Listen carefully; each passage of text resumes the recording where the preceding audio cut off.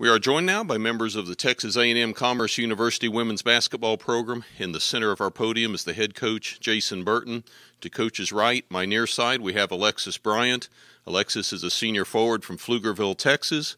On coach's left, the far side of the podium, we have Hajong Tak. Hajong is a junior forward from Garland, Texas. And coach, let's open with you your uh, initial thoughts on a game that for 35 minutes looked to be in hand, and then Eastern started to do like they did the other night against Tarleton, put a comeback up, but uh, your team withstood the challenge.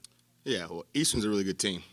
Prock's a great coach, uh, former coach of the year in the conference, and we knew it was going to be a battle. Every time we play Eastern New Mexico, it's a battle. But that's and that's an NCAA tournament team right there.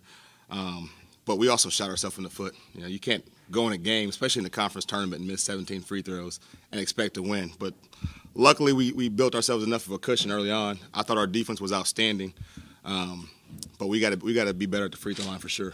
You mentioned your defense. You hold uh, Eastern to just 27% from the field.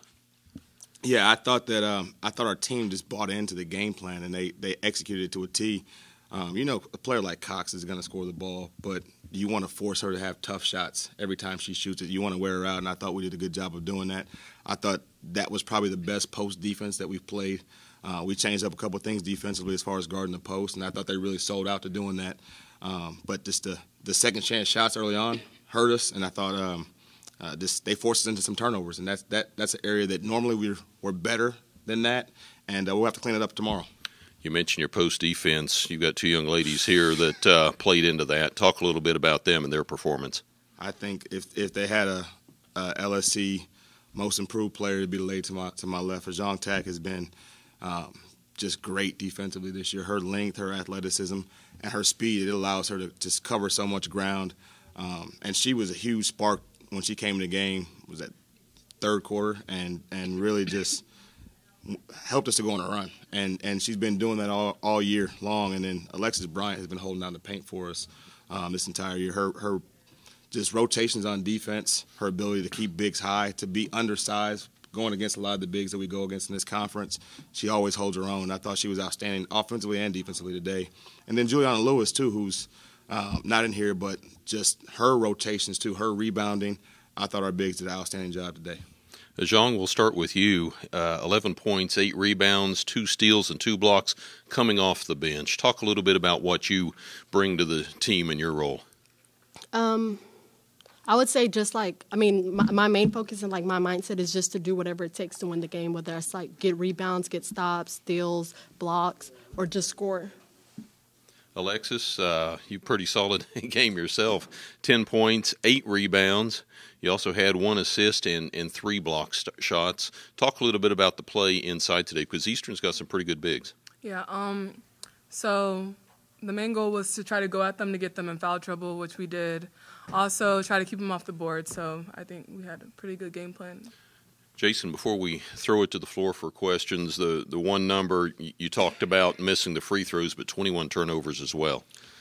21 turnovers. We gave up 22 offensive rebounds. Normally, that's the reverse. Normally, we're forcing that those many turn, that many turnovers, and normally we're we're crashing the boards. And so, um, just a little uncharacteristic of us. I thought early on, though, in the first half, this we were efficient offensively, so there were there were less offensive boards to go after. But um, you know, we have definitely have to do a better job of blocking out. Normally, that's been a strong suit for us. It's a little uncharacteristic, and, and the free throw line too. So, despite you know some of those numbers being out of whack, I thought our energy, our effort, um, just our want, our desire to win the game was there today for 40 minutes. Questions for the Lions right here. Uh, Coach, you never trailed in the ball game. Uh, was there any point, any portion of the game, any sequence of plays where you felt like exemplified where your team stood out today? Throughout the game, I think we opened the game up, and man, they came out on a mission to get stops, and we held them to 20 points in the first half, and, and I thought that that focus was was really there, and I think that there were some times in the second half we were a little probably discouraged just because of we weren't making free throws and and um, but I thought just throughout the game for the most part we were feeding off of our defense. We were feeding off of the energy. I thought our, our bench energy, our energy on the floor was outstanding, and um, that's that's been our team all year though. They exactly what Zhang said is that they don't care, you know, who gets the glory, who who's the player of the game, so to speak. They just want to make winning plays, and we have a team full of players that's bought into making winning plays. And it's been so fun to coach this team because they're the most unselfish team I've ever coached.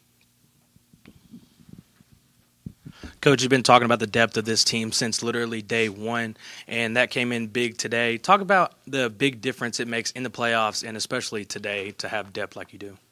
I think that's where we really won games this year.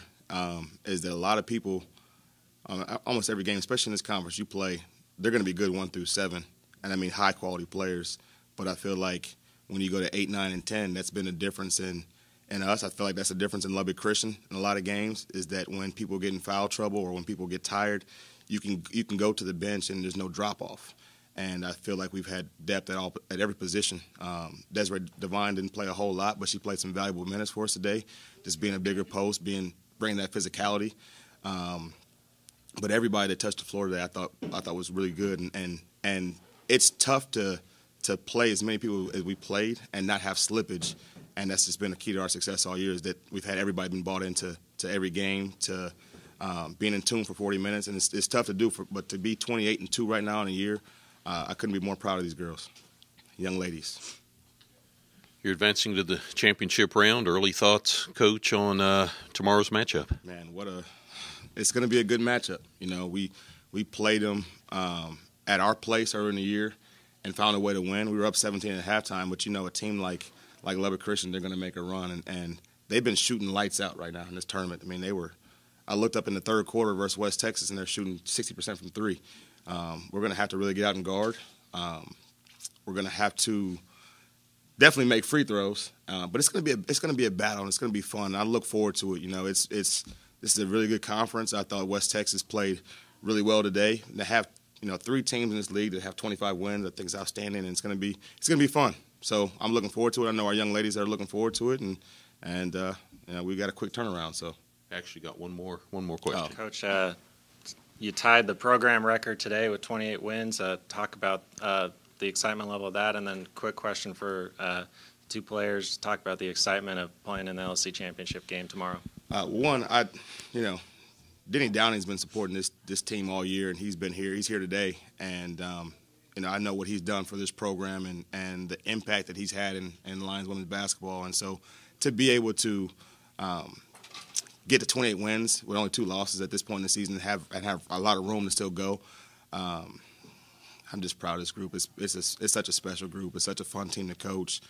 And um, they're just as good off the floor as they are on the floor. These are some incredible young ladies um, they make me proud every day. So uh, that's that's the best thing about this this team and, and this record is is the people I get to do it with every day. But y'all, he asked y'all, why are y'all excited? okay, I'm excited because we worked so hard all season. So tomorrow is a big game for us, but we have business uh, business to take care of. So I'm super excited about doing that. Um, I'm excited because this is our first time playing in the championship game. So I just feel like it's like for all the freshmen, it's just everybody. It's everybody's first time, and it's like it's something that we haven't experienced. So yeah. Well, congratulations and best of luck tomorrow in the championship.